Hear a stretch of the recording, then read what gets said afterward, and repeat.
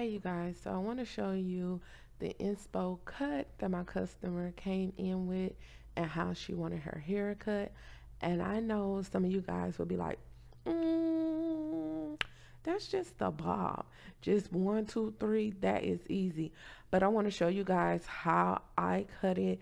And this is techniques in ways that I was trained when I was working in supercuts and they taught me how to cut any type of cut. And it's really easy but I want you guys to check it out and see what I did. And remember to comment down below hit the like button and subscribe for more videos to come. So let's get into it. Okay as you can see on the back of her back I do have a cutting board to place on the back of the cape. So it's easy to cut through and your cuts can be precise. And right now I'm having difficulty because I did take a small amount of hair so it can be flimsy going through the shears. But make sure you use shears and not scissors because shears are more sharper. They give you a precise look and they are definitely created to cut hair. So I am cleaning it up right now. And with your parts, you want your parts to be straight and curve around the head. As you can see, her part, it curves to the head so you guys can see. And right there, I am doing the cut straight through. I do make sure I part through the hair. I don't want to take a big chunk of her hair and just cut right through it because you can mess up the haircut and your customer will be mad. And what's the point if you're just going to chop off the hair? Then I might as well have done it at home, right? Right. So right here, I'm cleaning it up again, get the little fine tunes, take those out so it can look professionally done. You always want your work to look clean, professional, and beautiful because you want your customers to know it's a difference between coming to you and doing their hair themselves. You want them to always know that. And once again, like I said, make sure your parts are clean and make sure your parts are precise.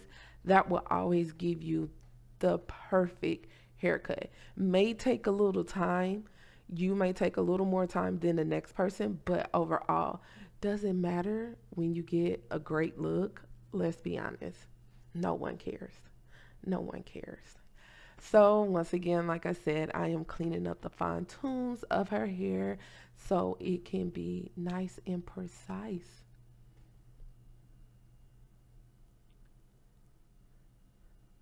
And right in here, I am taking the level that I did on her back. I am just leveling it out on her sides. As you can see, over on her sides, it was less hair.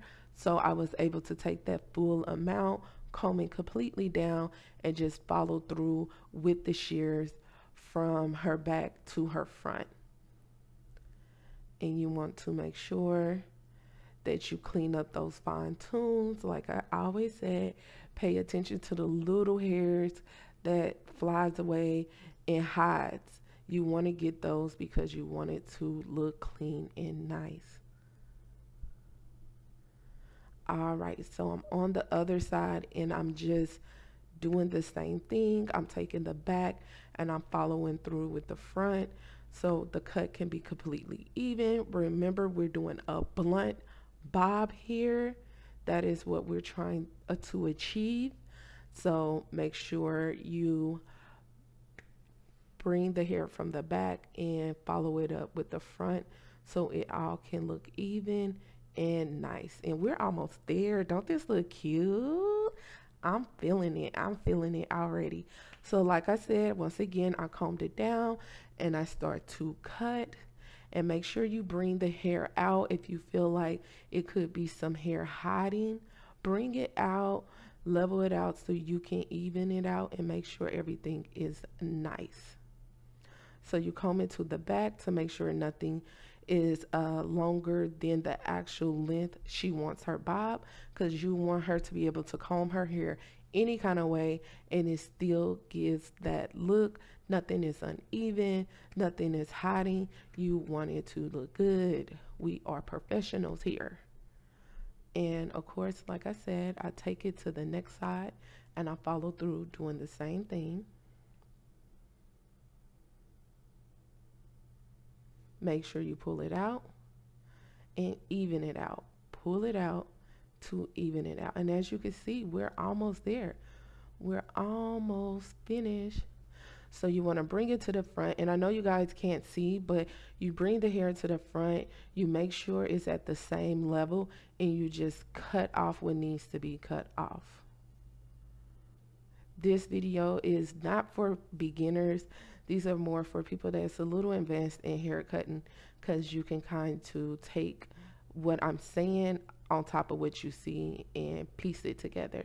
So right here, as you can see, the bob, the blunt bob cut is already done. I'm just, just making sure everything is perfect so she can get the cut she paid for.